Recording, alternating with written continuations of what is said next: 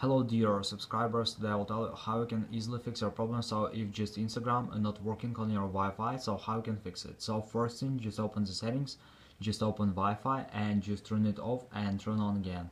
And if it doesn't help you, just go to the general, just scroll down, just tap on shutdown, slide to power off, wait a second and just power on your phone again. So just simple restore your phone. And if it doesn't help if you still have the error, so you can also fix it in another way. So just go back and just try to go to the general again. Just scroll down just tap on reset and here you will see reset network settings. So just tap on it and submit resetting network settings and if you still have the store so just go to app store just go to search tab. In search tab just write instagram. And if you see here not open but update just tap on update and wait until it will successfully install the latest updates for your instagram. So thanks for watching. Have a nice day. Subscribe to my channel. Click like and goodbye